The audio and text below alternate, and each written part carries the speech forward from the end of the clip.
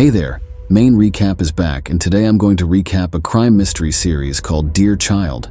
Hannah, the main character in the series, is too young for a recap, so I'll do my best to present this amazing series, full of twists and turns, to you.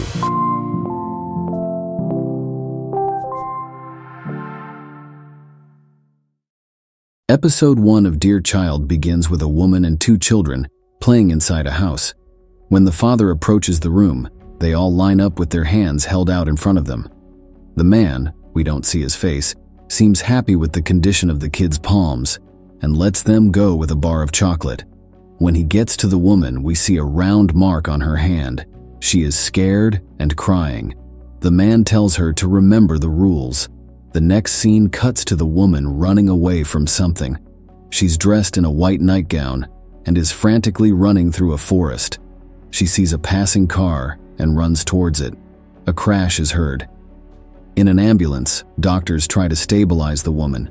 In the corner, a little girl named Hannah sits shrouded in a blanket. She tells them her mother's blood type is AB and her name is Lena. When her heart rate increases, Hannah tells her mother that she is right there beside her. A policewoman stands by the site of the accident and tells someone on the phone about a hit and run. She sees something in the forest and investigates it but doesn't find anything, we see somebody hiding amongst the trees. As Lena is taken inside the hospital, Hannah looks at all her surroundings with awe. She wanders around while her mother is rushed inside.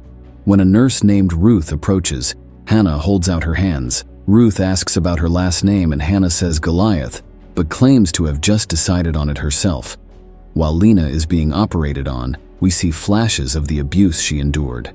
Her voice is heard, begging to be allowed to sleep. The doctors then realize that something is wrong as Lena begins to convulse. Ruth gets Hannah some new clothes and asks her about the hit and run. She claims the man who hit her mother was nice and stayed until the ambulance was near.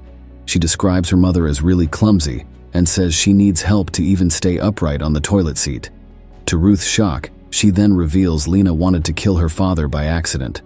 Ruth is shaken and goes off to find Hannah some drawing supplies. On her own, Hannah tells herself that she did everything right.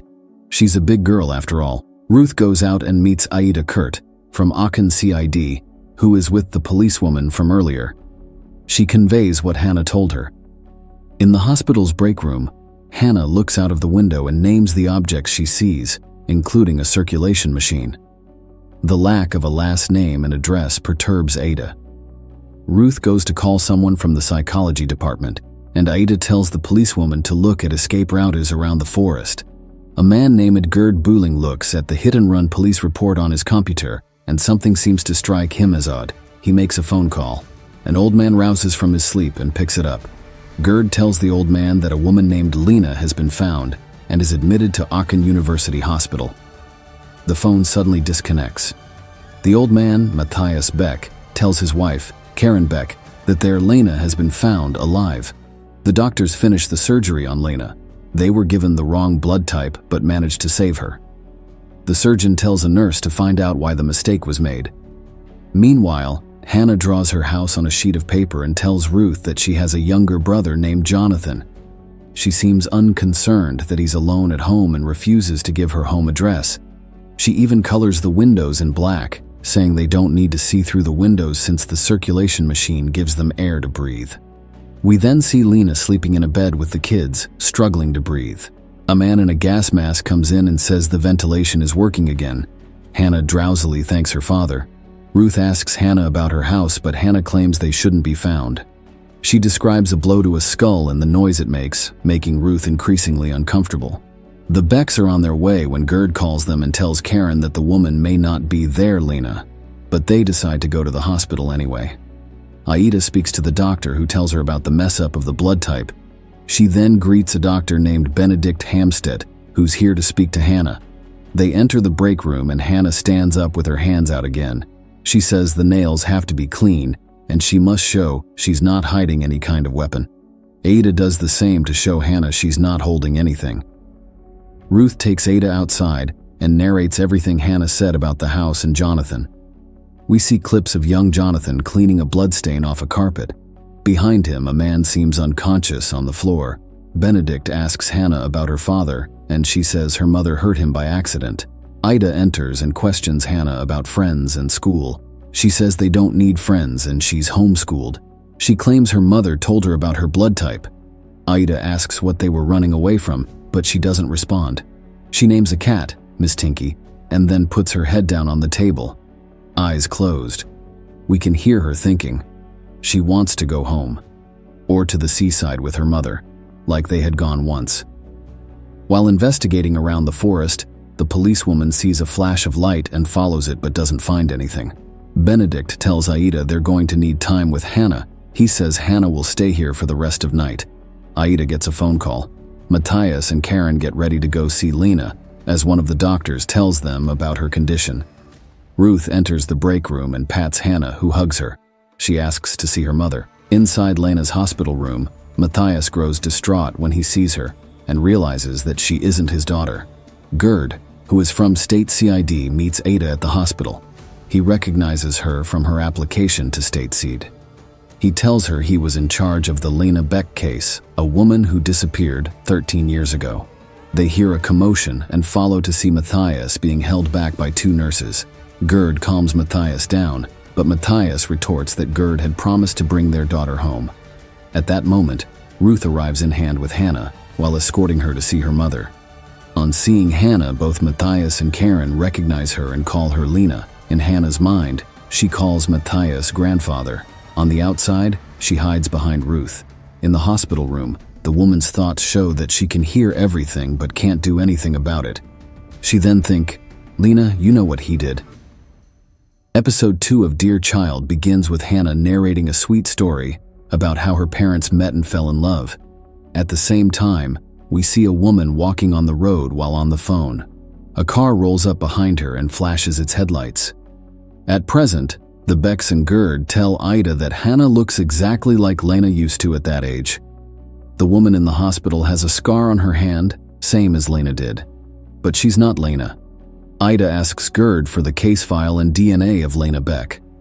She then tells the Becks what they've learned about Jonathan and the house. At the house, we see the man is still on the floor.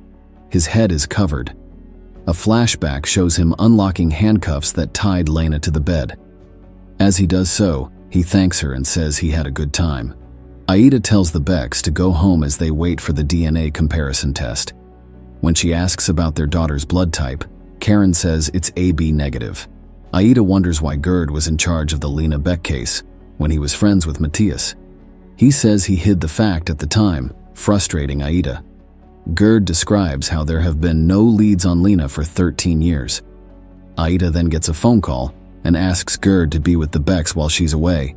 He promises to update her if the woman wakes up. Matthias covertly makes his way to the break room and sits by Hannah. He sees a drawing of the house made by Hannah. He promises to take her home. Gerd visits the woman's hospital room and begins to question her despite the fact that she's unconscious. When he asks what her name is, she wakes up. The doctor rushes to her. In her head, we hear a man's voice giving her orders, instructing her to lie. The woman says her name is Lena. The voice praises her and she passes out again. As the voice continues talking, we see her daily schedule. In the morning, she must make the kids breakfast, milk, and a chocolate bar. When she can't open the milk can, Hannah helps her out. She looks scared and confused and grabs Hannah's wrist, begging her for help. She then passes out. Hannah looks into a camera in the room and tells her father that her mother had another attack. In a haze, the woman sees Matthias tell her that he'll take care of Hannah now. Near the site of the accident, police forces and their dogs are out looking for the house and for Jonathan. They use Lena's clothes for scent. A man drives up to the roadblock in a car and asks about the situation. The policewoman questions him, but he seems to be regular security personnel. Gerd calls Aida and tells her about the woman's brief consciousness. He also tells Aida the scar on the woman's hand looks new and not decades old, as it should be. Hannah wakes up to breakfast and Dr. Hamstead in her room. The daylight from the window hurts her eyes. Hannah claims to know that Matthias is her grandfather and remembers meeting him during a trip with her mother. But it's a secret. Benedict narrates this to Gerd, who is surprised to think that Matthias might have met her before. Gerd then says he needs a DNA sample from Hannah. Hannah continues telling stories to Ruth about how she and her mother even went to Paris. Ruth gifts her a pair of sunglasses and encourages her to look outside the window. Hannah does so and waves her hands through the rays of sunlight. Gerd goes to see Matthias and Karen and tells them what he heard. He asks Matthias if he's seen Hannah before, but both of them get angry with him. Ruth collects the DNA sample from Hannah and then tells her she will have to go and stay at Benedict's hospital soon. She asks if she can go see her mother. Ruth agrees but says it should be their secret. One of the policemen finds a piece of fabric on a fence. It's near a decommissioned military field. Still wearing sunglasses, Hannah visits the woman in the hospital. Secretly, she takes something from her pocket and puts it in Lena's hand. She whispers, After she leaves, the woman opens her eyes and sees a piece of glass in her palm. She hides it under a blanket. Aida and the policewoman observe the military field but aren't allowed to enter. Gerd tries speaking to the woman again and asks for her real name. He asks if she knows Lena and shows her a picture. When the woman asks about Lena, Gerd begins to describe her, her talent for drawing and the potential of her future. But after a party one night, she disappeared. Everyone was suspected, even her ex, but they never found anything. The woman begins to say something about a man, but then her heart rate increases and the doctor sends Gerd out. The woman whispers to the doctor, asking to find out if she's pregnant.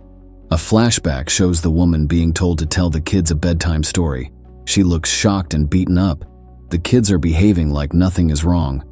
The man watches from the sidelines and orders her to get up when the kids can't select a story. Matthias sees Hannah being put in a car to be taken to Benedict's hospital. He runs out of the room. In the car, Benedict tells Hannah about the clinic. Matthias seems to be following them. Karen tries calling him but can't get through. Gerd comes by and apologizes for earlier. Karen tells him Matthias had gotten better but now he's regressing again. They discuss how Gerd is doing and he then tells Karen to go home and wait. Benedict and Hannah reach the clinic but keep listening to songs in the car. Matthias watches them from afar. Aida convinces a SWAT team to not wait for official permission and instead break through the fence to the military area. The security guard from earlier suddenly comes by and tells them the area is restricted. Aida has the men go inside anyway. At the house, Jonathan sees through the open front door. After the men go inside, a blast is heard, and Aida runs over. One of the men has had part of his leg blasted off. The place is rigged with mines, and Aida finds herself standing right in the middle. Thanks for watching. And if you enjoyed this video, don't forget to hit that subscribe button so you never miss out on our latest content. You can also give us a thumbs up if you liked what you saw.